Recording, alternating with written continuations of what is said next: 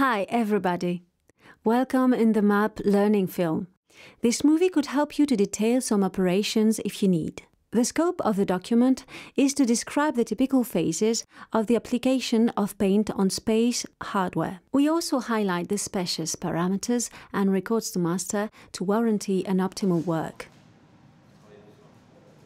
Primary packages are stored in storage area or outside with a plastic protection if they are too voluminous. The original packaging should be used for packaging and expedition of painted parts. The parts must be delivered with the following documents delivery note, customer specifications, drawings of painting. The samples follow the same process as the spaced hardware from the receipt of parts to the shipment. The parts have to be delivered with witness samples. These witness samples shall be made of the same materials and be surface treated the same way as the parts. Pictures of hardware should be taken before any action done on the part.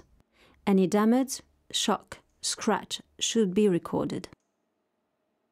All the following steps must be used with appropriate gloves to avoid any pollution. The operations of cleaning should be done in a cleaning room. The cleaning procedures are based on the nature of the substrate. The masking should be done in a cleaning room. The procedures are based on the nature of the substrate. In general, the masking should be done with a precision of more or less 1 mm. Chamfered surface smaller than 1 mm should not be painted. The paint should be removed after drying. After masking, a self-checking should be done. If an polishing step is required, it will be done after masking. Due to the dew point, wait for minimum one hour before application process. The application of primers and coatings shall be done maximum 8 hours after this stage. The preparation of the primers and coatings will be done according to the technical datasheet of each product in new containers.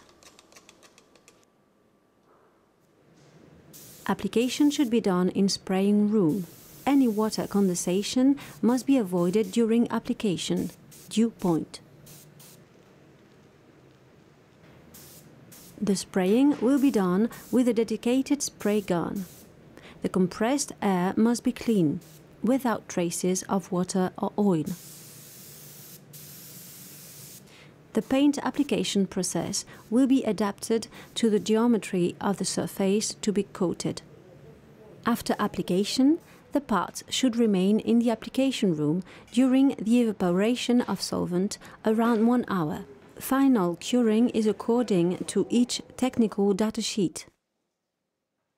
The unmasking will be done during the curing and takes place few hours up to few days after application depending on the paint reference. Unmasking shall be performed carefully to avoid the starting of pulling stresses in the paint in general, from the edges to the center of masking. All adhesive tapes and tools of masking will be removed. The edges of the paint will be cut with adapted tools. Verify if there is no trace of glues. Clean it with acetone and or alcohol. The controls are done on hardware and on witness samples. They are done after complete drying. On witness samples, measurement of thickness, visual aspect, and under binocular. Verify that there is no crack, run out, agglomerate, lack of paint, no speck of dust or paint.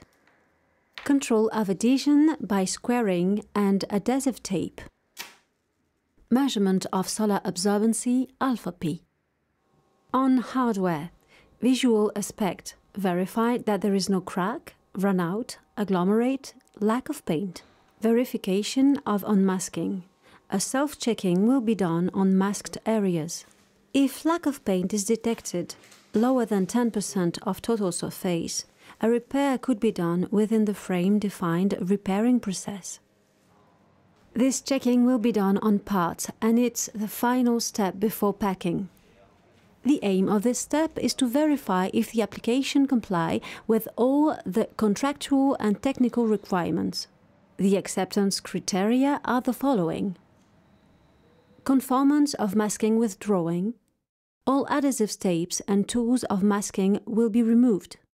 No trace of glues from adhesive tape of masking. All the edges painted will be cleanly cut. No flakes of paint.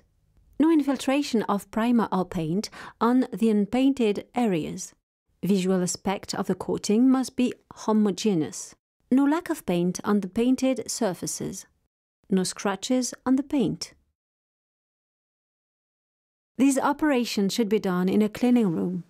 Packaging has to be adapted to the size and sensitiveness of the parts. In general, the original packaging is used for packaging and shipment of painted parts. Because your efficient equipment needs the optimum quality and performance, MAP is still available to provide additional information.